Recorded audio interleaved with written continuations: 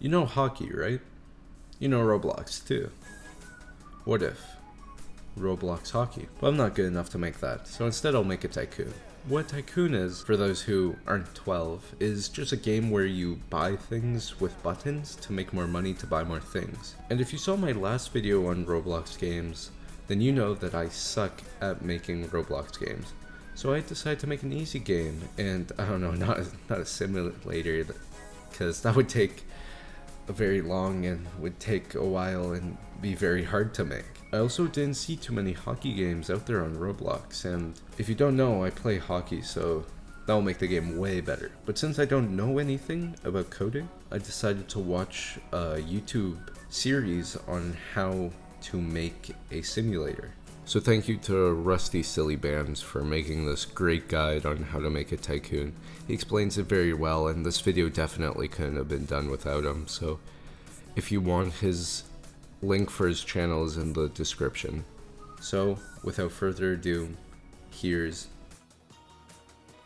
so I started by making the base plate and getting all the essentials and making folders. What I've learned about coding is that it's good to keep everything organized in order to make sure you don't get confused or lose anything. After making all the folders, I started making the foundation, then making the owner door, which didn't take too long, and claiming the tycoon, which took a bit longer. And I also made it so there was this thing at the top that said what their name was, which was pretty cool. Then, after that, I started making the conveyor belt, which only took a few minutes. But then I started working on the main point of the game, which is the droppers. But decided to make them hockey players dropping pucks instead of just normal old blocks. And instead of going into a yellow brick collector, it goes into a net, which took a while and ended up with this hockey guy who looks great. I finished off the day by adding some cool text above the pucks to see how much they are worth. Then I went to bed. After waking up, I spent two hours on working on the game, and here's what I did. Adding buttons. Uh, it wasn't too hard. Making the cash collector wasn't hard either, or even the upgrader thing. But the game passes, that's what got me nervous. Cause it took like half an hour to figure out, but now I got a two times coin game pass and a gold guy game pass. And now for the hardest part of every game, we added data saving. Now some tycoons don't have data saving, but I like the idea of saving your data and when I update the game, I don't want people having to do it all over again. So I had to do that, which probably took the longest so far. I know it won't be the last time I spent hours on something, but that really took a long time to make. Like probably three hours. After that, I made a colorizer and a materializer, which just makes the puck a different color or a material based on if you click on it. After that, I started making the rebirths, which was kinda hard because the tutorial I was watching did them two different ways. It would have a multiplier to your coins every rebirth, and the other was it would give you a rebirth token, which you could spend on special buttons. So what I did was I put them both into the video. And one of these special buttons is a photo of my cat. And if you send me a photo on Twitter, then you'll be put into the end of the next video. So, but anyways, next I made the teams. And I based them off hockey teams in the NHL since it is a hockey tycoon. I started making the actual tycoon because I finished all the videos, and now I just have to build the stuff for the tycoons in order to finish doing it. I made a map border, and I made some trees as well, with an invisible wall so you can't leave the map.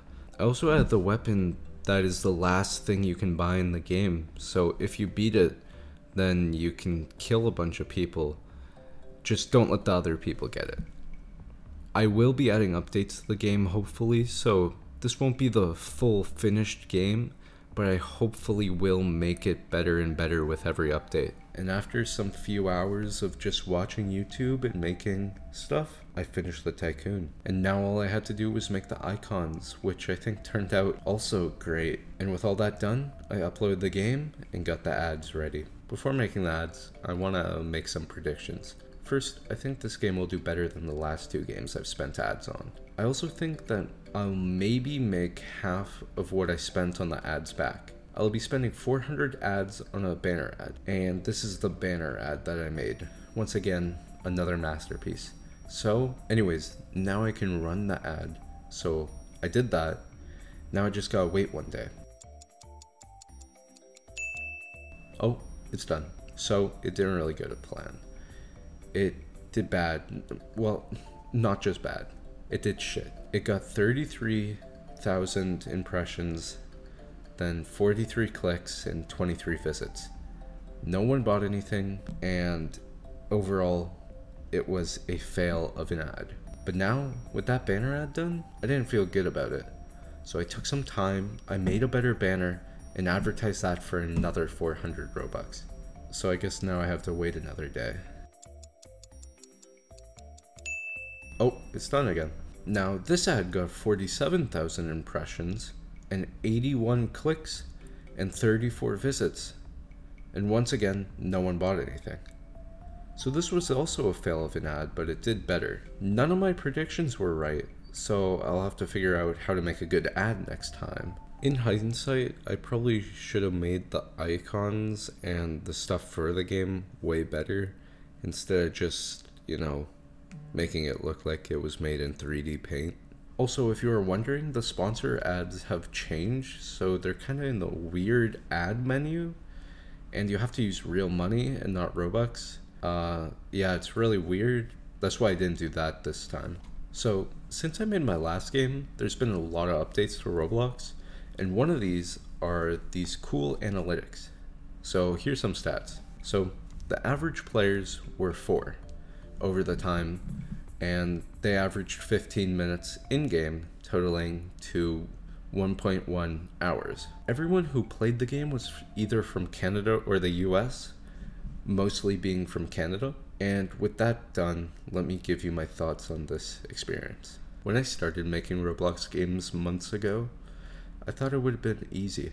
But now, after three game attempts and over 50 hours on game development, this is way harder than I would have ever expected. Now, this won't be the last time you'll see me trying to make a game, but for now, I'm going to try and understand Roblox more and get a better idea on how to make a good game. And I will come back and make the best Roblox game ever made. It will have the best icons, the best ads for the game, and will be the biggest Roblox game ever made. So be prepared for that. If you would like to play the game, the link's in the description. The next video is going to be a good one, not Roblox related, but a good one. And maybe like and subscribe. If you really want to, you can buy a membership. It's only $2, but that's your choice if you really want to. Don't do it if you don't feel like it. Just don't expect to Roblox game content. So anyways, bye.